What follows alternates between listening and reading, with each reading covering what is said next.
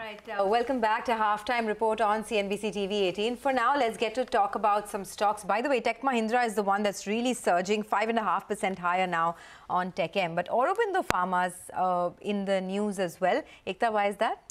Well, yes, uh, there's positive news which is coming on Aurobindo Pharma, where APL Health, which is uh, the company's arm, Two of the units which are housed in that particular arm, Unit 1 and Unit 3, were inspected by the US FDA. This inspection took place from the 9th to the 18th of January.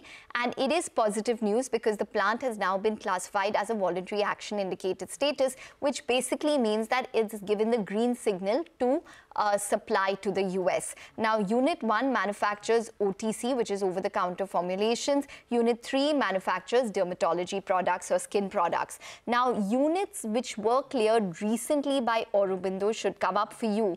And as a whole, then that becomes a positive piece of news because of Aurobindo uh, simply having a couple of units, in fact, seeing the light of day from the US drug regulator because it had been in the dock for quite a long time. So Unit 9, for example, had an official action indicated status. It was just issued a voluntary action indicated status in Feb of 2022. Unit 11 had a warning letter. It received a VAI status again uh, in November 2022. It's one of their biggest API units. Unit 7 also had an OAI, which is an official action indicated status, and they were issued a voluntary action indicated status in August of 2022, which is their biggest formulation unit, basically giving them the go-ahead to go ahead and manufacture for the US. So that's an Aurobindo stock up around a percent and a half. But it was a strong set of